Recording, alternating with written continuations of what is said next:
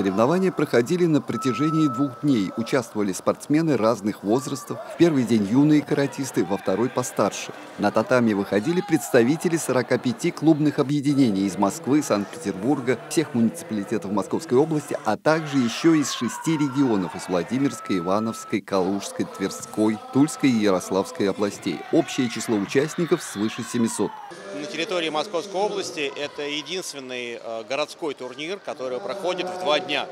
То есть это большое количество участников, это большое представительство э, по географии. Плюс э, к этому турнир имеет уже свою историю. Он проводится 13 раз, и с первого турнира он стал уже, с первого проведенного нами турнира, он стал достаточно популярным среди тренеров.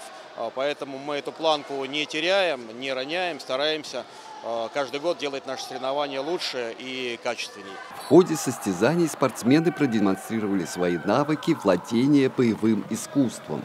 Ну, первое, они получают опыт как спортсмена.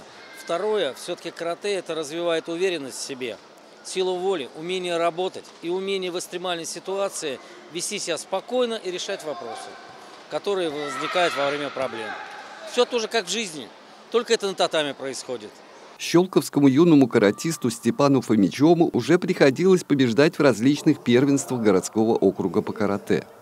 На этом турнире мне понравилось мое выступление в последнем круге, потому что этот кат э, я недавно выучил, он для меня новый, и мне очень понравилось, как э, я откатал именно последний круг финал. Щелковские каратисты выступили очень успешно. По результатам состязаний в их копилке 9 медалей. Поздравляем!